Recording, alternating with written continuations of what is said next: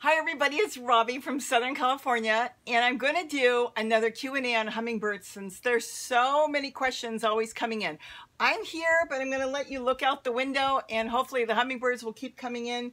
They've been coming in all morning. I just refilled the feeders and they're almost ready to be filled again. So I'm going to go through questions as quick as I can and try to keep this as short as possible. I can't go through every question, but I'll go through a lot of them because a lot of them have been duplicate questions. So I'm going to let you enjoy the hummingbirds as I go through the questions. I've had questions on, which has nothing to do with hummingbirds. Can you try to hand feed the birds like scrub jays and orioles? I'm going to say no. Even though when I was a kid, yes, I did have a pet scrub jay that used to come and take food out of my hand. He was taking sunflower but um, that was a long time ago and they're very wild. I haven't bothered with them. The Orioles are very timid when it's around people, even though the young ones will come very close to you and they'll feed out of the hummingbird feeder. But no, I'm not even gonna try that. Uh, a lot of Oriole questions. Uh, they want to know if Orioles, um, if I feed them oranges or jelly. I have not put jelly out. I will not. I will say I did try to split some oranges and put them out there and they had zero interest in the oranges. So no, they love the sugar water and then they forage for a lot of insects in the wild.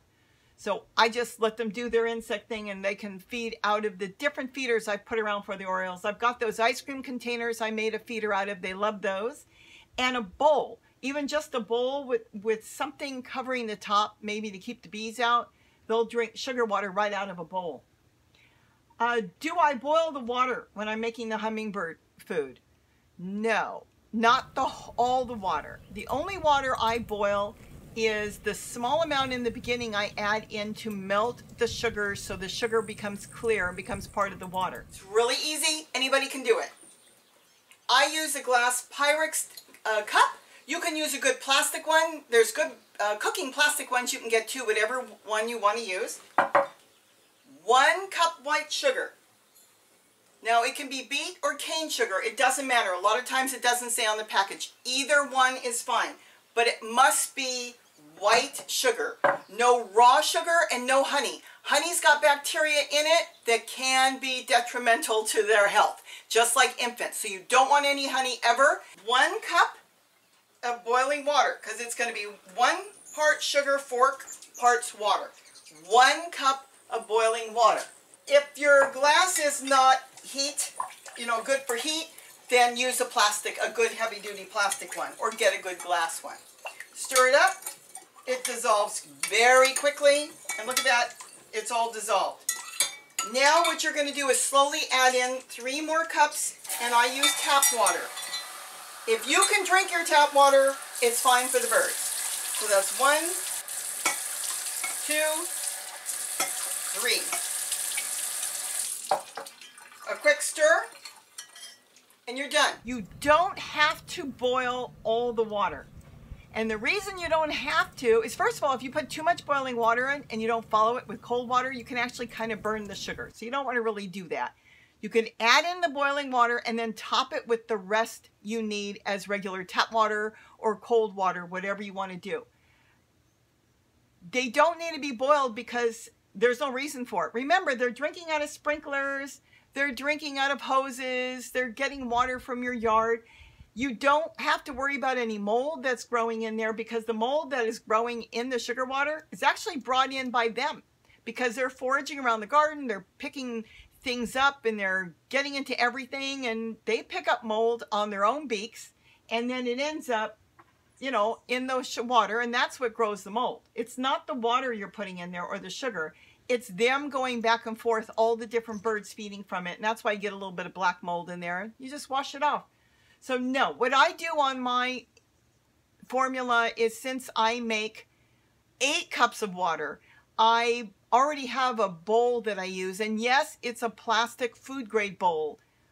But the thing is, I put in two cups of sugar for my recipe. Then I add in a little bit of boiling water and stir it until it gets clear. And it literally takes seconds. And as soon as it's clear, I top it. So I have eight cups of water for my two cups of sugar. And that's it. So it's not like I'm boiling at all. So no, you don't need to. A lot of people love the videos. Thank you so much. I want to keep trying to get this up there because so many people are interested in hummingbirds. I was asked if hummingbirds eat bees and wasps. No, they don't eat bees. They eat little fruit flies and small little insects, aphids in your garden. They eat that, but no, they they don't they don't even like the bees. When the bees get into their hummingbird feeders, they kind of fly around very upset, but they'll still go to it even if there's some bees there. And there's been a lot of people getting bees on their hummingbird feeder. If you are getting bees, then you need to switch to a hummingbird feeder that has like those yellow flowers on it because what it is is it makes sure that the hole is small enough only for the hummingbird to feed on and this way the bees cannot reach the sugar water. If they can't reach the sugar water, the uh, the honeybees, then they're not going to go back and tell everybody from the hive, hey, I found it, because they'll never find it from the beginning, so you won't deal with it. We Sometimes they bother my feeders, the ones I have bigger holes in for the Orioles, and sometimes they don't. I guess it depends on how much they're finding around the yard. But if you do have a bee issue, just get one that has the bee guard. They call them bee guards. They're already on the feeder. And the ones behind me have small holes and the bees don't bother the ones in the window. But that's what you'll need if you're, if you're dealing with bees. A lot of people are having ant problems. If you're having an ant issue, that is actually very easy to get rid of. You want something that is uh, your feeder is going to hang to that has water in it. And you can buy, let me get something. You can buy online. I've seen them on eBay. They're called ant moats. And I'm going to switch you back to me for a minute. I make these. I use a plastic cup. And you can make them any size you want. This is just a plastic cup. I made a hole on the bottom. I strung a piece of wire through and then I put a little bit of tape there and I filled it with aquarium sealer. Once it's got aquarium sealer, it will hold water in it and you hang your hummingbird feeder from here. You hang this up wherever you need to hang it. You fill the cup with water and the ants can't get across to it. Remember, it only takes one ant to find this. Once the one ant finds it, the scout, he goes back and tells everybody, hey, I found the hummingbird feeder full of sugar. But if he can't find it, he's not going to go tell anybody. So that's the whole idea is just to stop the single ant that's going to get on there to tell everybody. These work great. Now this is plastic. Like I said, I made it. I even made some with really long wire to it, depending on if I want to reach a tree or something. You know, the thing is, like I said, these are plastic and eventually they will crack. I make them with little animals in it, see? But the but you can get them on eBay, the metal ones or they're copper and they'll last forever. Those will last forever. You just fill it with water. Some people say they fill it with oil and different things. Uh, some people say they fill it with what you really don't need to. Just fill it with water. That's all you need. Just make sure it's a good size little cup there. Fill it to the top with water.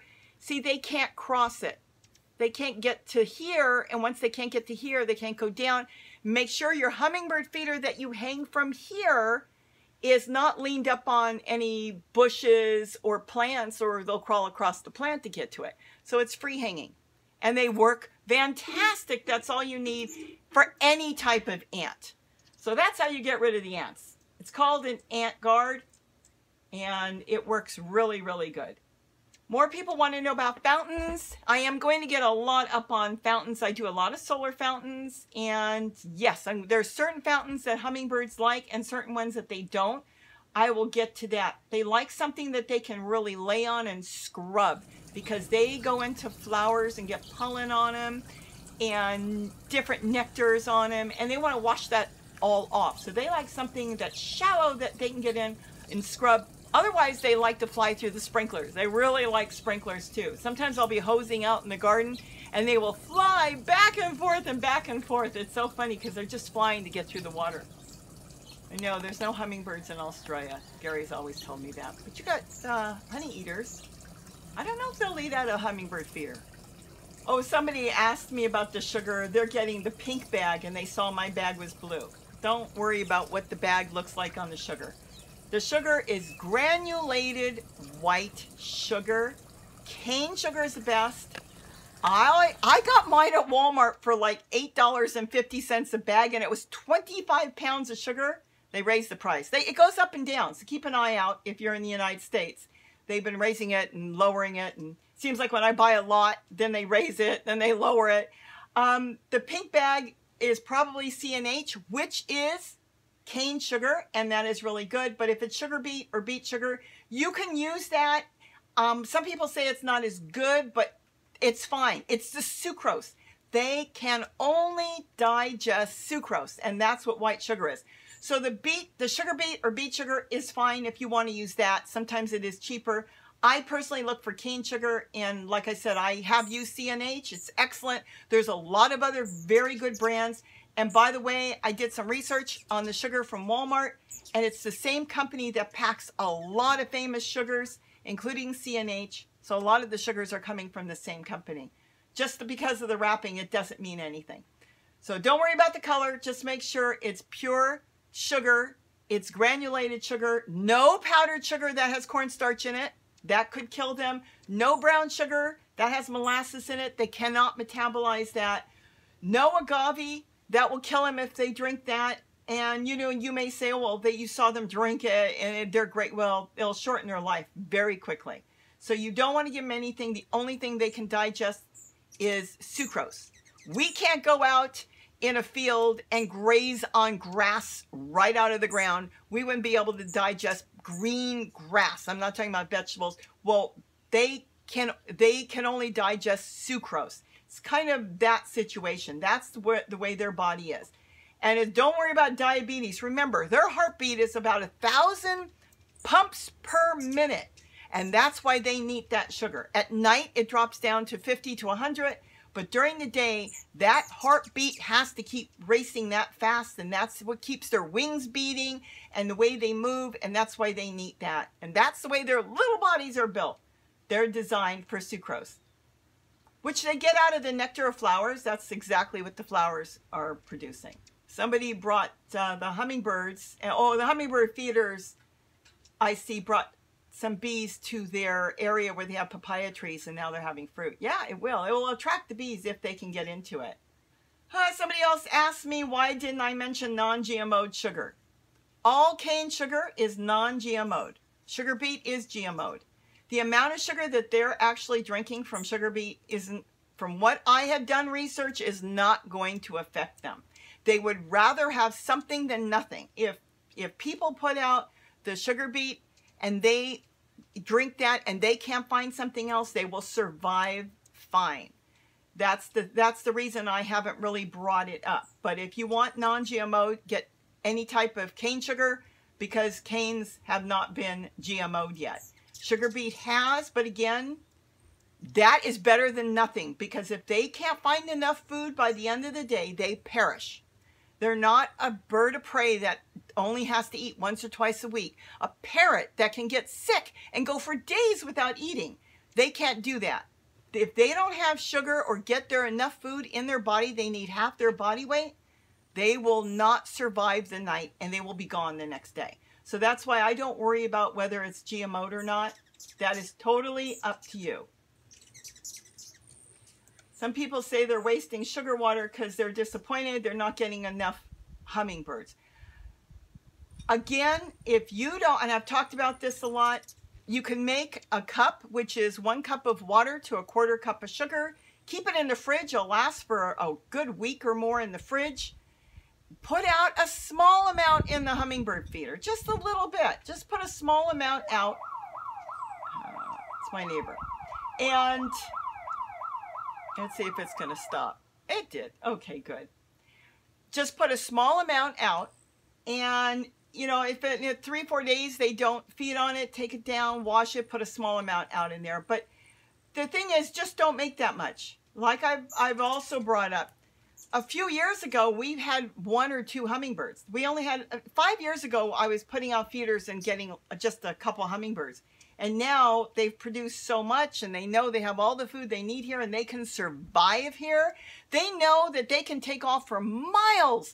They come in in the morning, feed, and then they can leave. They fly so fast and they can go so far and they can leave and go miles away and they know they can come back and always find food here.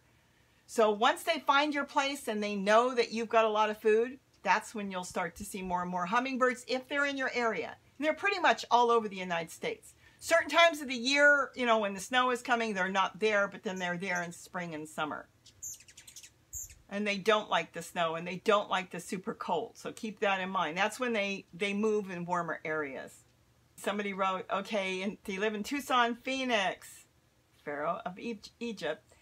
Uh, and they didn't see hummingbirds. Now they put the recipe out and they're getting a lot of hummingbirds. That's because they found it, they like it, and they have a fantastic memory and they will remember where the hummingbird food is. So they know that they can go out, forage, and come back. And that's all it takes is once they know, they will come back because they're they have to be smart. They're one of the smartest birds. Um, another person asked me, they said they've been putting in vanilla flavoring in their hummingbird feeders, and she said her hummingbirds love it. I'm going to have to say on that, no, no, no, no. The smallest amount of vanilla flavoring can actually be detrimental to their lives. Vanilla flavoring is 35% alcohol, pure alcohol.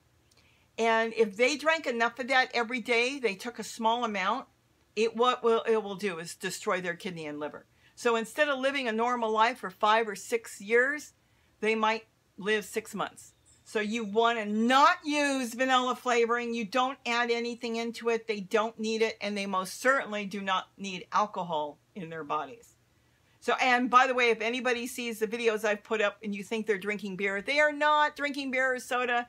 Those are all hummingbird feeders I've made. I make hummingbird feeders out of everything now. They just love it. They want to see what I'm going to bring out next and they try it and it's just adorable. I only feed the recipe that I put up, which is a quarter to, to one. So it's a quarter cup of sugar to one cup of water. But please, no, no flavoring. You don't need flavoring. They're not looking for flavoring. All they're looking for is the sucrose so their heart can keep the rate up that they need. That's what they need and that's what they want. It would be wonderful if they could forage and find enough. But remember, flowers only have so much nectar in them. So you may see them feeding and feeding and think, oh, you've got 20 hummingbirds feeding on your bushes. Well, that's not a hummingbird feeder. So once that flower is empty, it's empty. All they're doing is wasting their energy looking and foraging for food. That's why they need to know that there's some sort of feeder around. So when they've gone and checked 30, 40 flowers and there's nothing in it, they know they can come back to you and get something to eat and then go back and forage until they can find the flowers that are full of nectar form or pollen. Or insects. They also go into the flowers looking for insects. Now, some people said that they've had a lot of hummingbirds around in the past and this year they have not. Well, the problem is they may be in your area, but they might have found somebody, it could be a block away from you. It could be your next door neighbor somebody putting out a lot of feeders. And once they find those feeders and they know it's reliable, they will only go back to where they know they can go to get their food.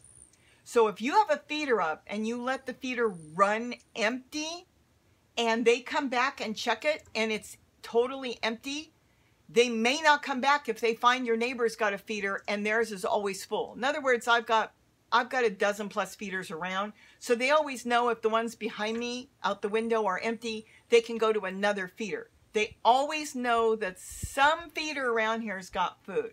So that could be the reason why you had a bunch and then you didn't. Not because they're not around, but the problem is they're not going to your house. They might be going to somebody else's house. And it could be just just a fluke that somebody else put it out there were plenty of food for them. And then the little group that's in the area, it could be 50, 100, they decided they're going to hang out there. And again, they go where they know there's food. They have to have food to survive all day. And so that's where they're going to go. So just keep putting it out and just make sure there's always a little bit of food. Like I said, if it runs empty and they find it somewhere else, well, then that's where they're going to go. Uh, again, more people asking about bees. That just means that your hummingbird feeder you're using, there's a couple things. Probably the hole's too big so the bees can reach down and feed. If they can reach down and feed, then yes, the bees will come around them. So you'll need a hummingbird feeder out certain times of the year. You know, the bees aren't always looking for hummingbird food. And, you know, they have a bee guard on them. The other thing is make sure they're hanging really straight. If the hummingbird feeder is hanging in an awkward position where it's kind of tilted, you may have some of the sugar water dripping out slowly or very close to the hole, too close to the hole, where they can still reach it. So just make sure the hummingbird feeder is hanging really straight. That would be the main thing. And again, if you put bee guards on, you're not going to have orioles coming because if the the orioles probably on some of the bee guards they cannot get to, especially some of them have like a little yellow plastic cage looking cap that goes over them. They can't get their beak into that. So if you don't have orioles, then just make sure that you have a bee guard on your, and they come with it. Every feeder is different. You can't just go buy a bee guard and put a bee guard on. You have to get a hummingbird feeder that either has small holes or has a bee guard on it. The other thing, red dye causes cancer. No, it does not cause cancer. I don't know where this is coming from, but all the research I have done, even through the biggest hummingbird societies, they don't like the red dye, but it from everything they have found, it hasn't really caused the problem because there's no alcohol in there. There's no nothing in there. It's usually people putting in one drop and they get such a small amount of the red dye that it really doesn't cause them cancer. But the issue is here, you don't need it. They're not looking for it. The red dye is strictly for you to see if your feeder is full. So just keep a closer eye on it. Even behind me, you can see which feeders are starting to empty and you can see which one is almost full. You don't need to put any red dye in. It, it's, it's, it's a waste. It's just a waste. You don't need it. I do know that most of the hummingbird food that you buy in the stores, the pre-made ones, do have red dye.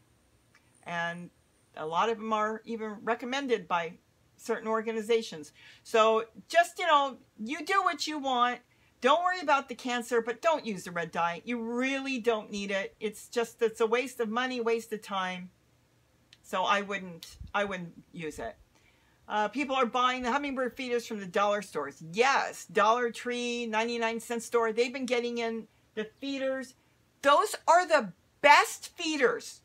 The, to me, they're worth a million dollars over all the others. Really, they're the best feeders you can find. They come apart. Everything comes apart. You can take the bottom off. You can take it off the, the bottle. You can get a toothbrush in there or something in there, wash it up really good. Some of the most expensive feeders, the base is attached to the point where you can't take the base apart to clean it. So where the flowers are, you can't get inside, you can't clean it.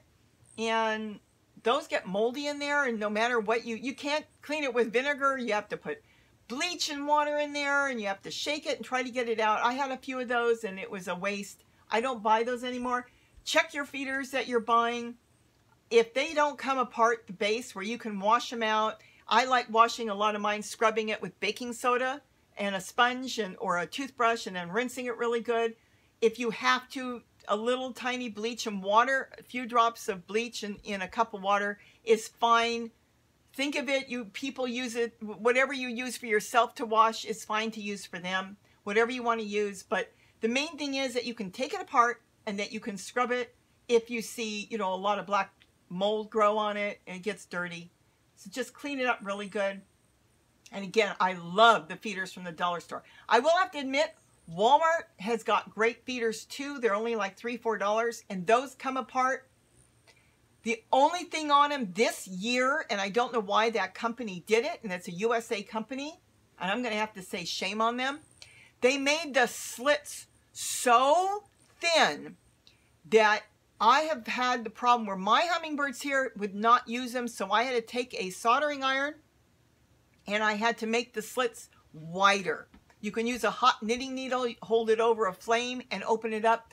I would never use them like that because if they're sitting on the pedestal and another bird came by and they moved, they can snap their beak. I heard that they were finding some with broken tongues in one city and, and issues, and I'm wondering if that was the feeders that they were using, I would never use those. I put it out the first time without thinking earlier this year, and the hummingbirds would come stick their beak in, and then they jump back, and they didn't want to use it. And I looked at it and realized they were paper thin holes. Now, maybe some of them were faulty and they made a mistake. I don't know because there was another feeder a few years ago that a company came out with and the hole wasn't done correctly and there were a lot of hummingbirds killed. So many hummingbirds died over it. They apologized for it. So I don't know what the issue was this year. Look it over, make sure the hole looks like, like it's nice and clean. They can get their beak in. And if you get the ones with the tiny little slits, see if you can enlarge it for them. I know they were trying to keep bees out, but you don't need it that tiny. People, again, asking if you need to boil the water. The only part you need to boil is just to initially get the sugar to melt. You can use tap water, you know, room temperature, but it seems to take quite a while. It's very foggy, so it takes time until the water uh, and the sugar become one, because that's what happens. It becomes one. So I start it with boiling water, and then I quickly adding tap water to it. And yes, I use tap water. I don't use bottled water. Remember, they're drinking out of the sprinklers. They're drinking out of the street gutter. They're drinking wherever they can find water in some areas. If you can drink your tap water, they can drink your tap water because they already are. And then there were a lot of people that asked me about, um, there was the uh, hummingbird that nested on my window and the whole window was covered in poop. Yes, why did that happen? Some people ask. Because the in the beginning, very beginning, the babies, when they poop, it looks like a little sack, a tiny little sack. And mom picks that up and throws it somewhere. She takes it away from the nest and she dumps it somewhere. As they get older and the more she's feeding them, now she can't be dumping it all day. So what they do is they back up when they're in the nest and they shoot it out wherever just so happens up against my wall. It landed on the wall and, and the screen of the window, but it kept their nest clean. They want to keep in the wild their nest clean. I mean, think about it. You see that whole window, they would be sitting on three feet of poop. So that's what they're doing. They're keeping their nest clean. And like I said, in a tree, it would just be going on the leaves. It would be going down to the ground. It would disappear. And I'll tell you, once the babies are gone, it's dry. It brushes right off. So it was all as good. You take the good with the bad, and it was fine. It wasn't that bad. Okay, somebody told me they went and bought a fountain. They purchased a little fountain that was globe shaped. That's perfect. The water's running all, all over it. That's exactly what they love. They love something that's a ball. They just love the, the water trickling down so they can scrub themselves. Another person said they have a problem that the sugar water goes bad before the hummingbirds drink it. Well, if you're in an area where it's really hot and you're putting it out in the hot sun, yeah, they, they, you know, the hot sun can make it go bad quicker. Do I, and I know people have asked me, do I put it out in the sun, put it in the shade? I have it all over. Some of the hummingbirds like to drink, be drinking out in the sun. I mean, that's where the flowers are growing out in the sun. Some of them like the shade. And when it's raining, I make sure the hummingbird feeders are covered because if rainwater gets in them, they won't drink it. Once it dilutes down, they won't drink it. So I keep the hummingbird feeders covered for two reasons. One, so the hummingbird nectar does not dilute. And two, so they don't have to be eating and sitting out in the rain. Somebody wrote that the sugar water gives them high calories that they need to burn. Absolutely. That's what they need. That's the way their metabolism is built. We do not have a heartbeat of a thousand beats a minute. They do. And that's what they need. Somebody said I didn't say the ratio of the sugar. I did. I always say the ratio of the sugar.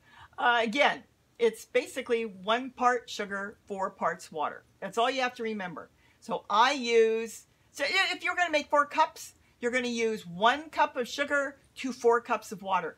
Don't compensate for the one cup of sugar. The, if you mix one cup of sugar into four cups of water, and you remeasured it, you're going to end up with four cups total. The sugar and the water become one. Don't ask me how it's science.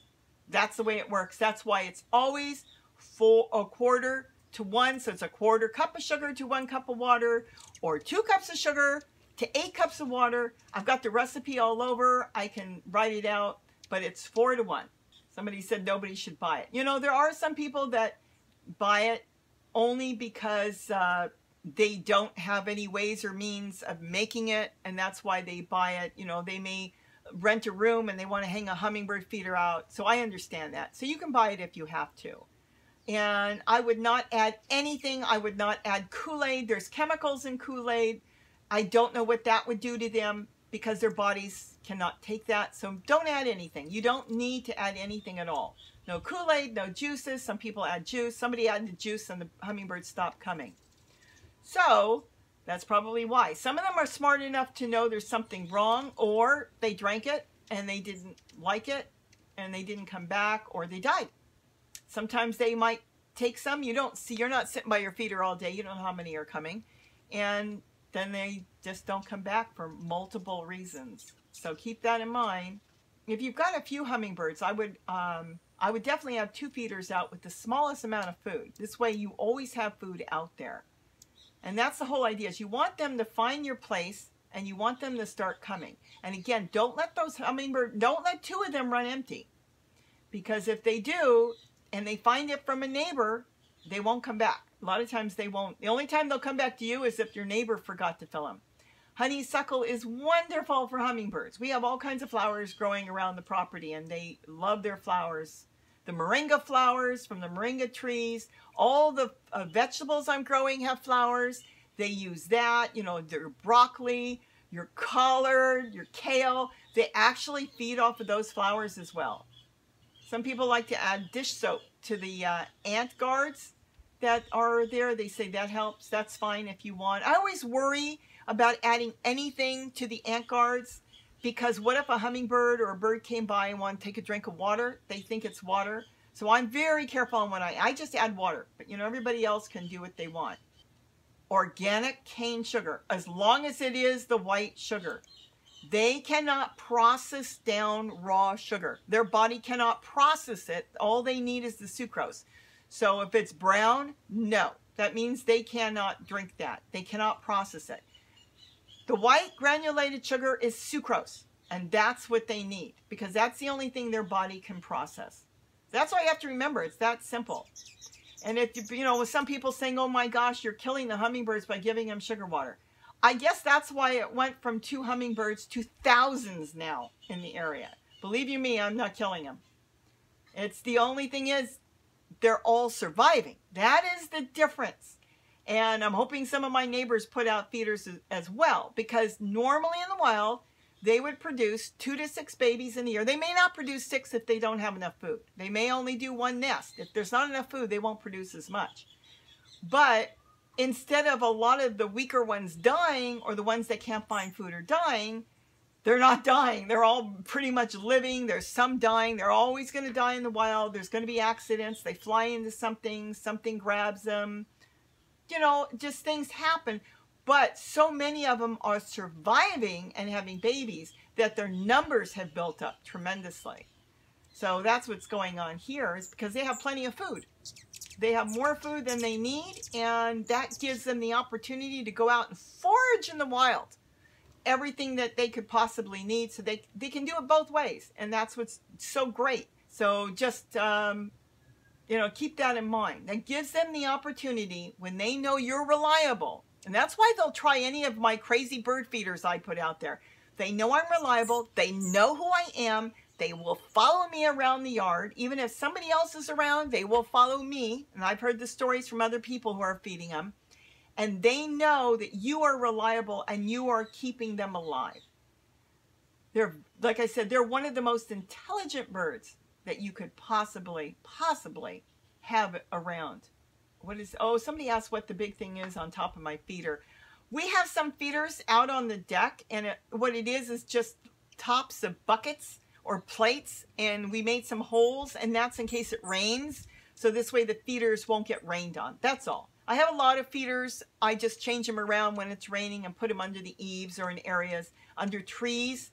So this way they won't get rained on. Like I said, if it gets rained on the feeders and water gets in them, it gets diluted, they won't drink out of it.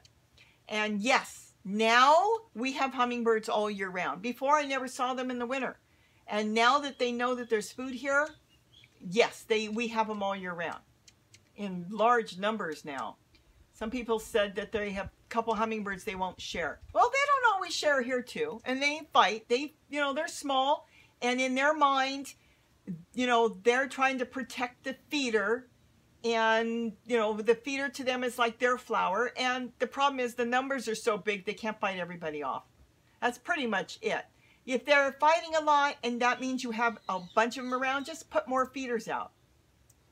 I have noticed that sometimes they try to protect the feeders more so during the day. And then as evening comes, before the sun goes down, they stop that because I guess in their mind the flower is almost gone. There'll be a new flower tomorrow. And they seem to share more in the evening because they're all rushing to load up in the evening on their sugar water and then go to sleep somewhere. This way they're strong enough in the morning to wake up and start to forage again. And what they do is they tend to come here and load up here. So I think I've gone through a whole lot of questions that have come in the other day on uh, my story. And I sit and I tried to go through that. I have different hummingbird ones that come up. I know a lot of them are the same questions, but it, I guess it doesn't hurt to go over them. Some people wanted to know about the Hervé story, and I mentioned it very briefly in there about the owl that he brought me. It is a funny story. Um, and I wanted to emphasize the reason is that owl went for about five, six days without any food. And that owl, yes, I had to hand feed it and tube feed it for months but it lived and it was totally blind. It had lost one eye. The face was smashed, but it became his closest pet. He loved that owl. He had it for so many years. I think he brought it on the Dinah Shore show too. He brought me too, but I wouldn't go on the show. And um, he loved that owl. And yes, I managed to keep that owl alive. Technically, you know, everybody wanted to put it down. Hervé wanted that owl so bad. He felt he found it and he wanted to give it life. Did, you know, he did. He he would play the piano in the house and the, that owl would fly to him. Even though it was totally blind, it knew him. There's so much. And the guy was a wonderful, wonderful guy. And he had a heart of gold and he loved animals more than anything. So with that, I think I've answered a lot of questions. I'll come back and do another Q&A. It's quiet right now. We're like 90 degrees, so the hummingbirds are now hiding in the trees. So have a great day. I hope I got more questions answered and I'll keep doing more of these Q&As and hopefully we can get everybody to understand what's going on. Have a great day and don't forget to eat what you grow. Bye-bye.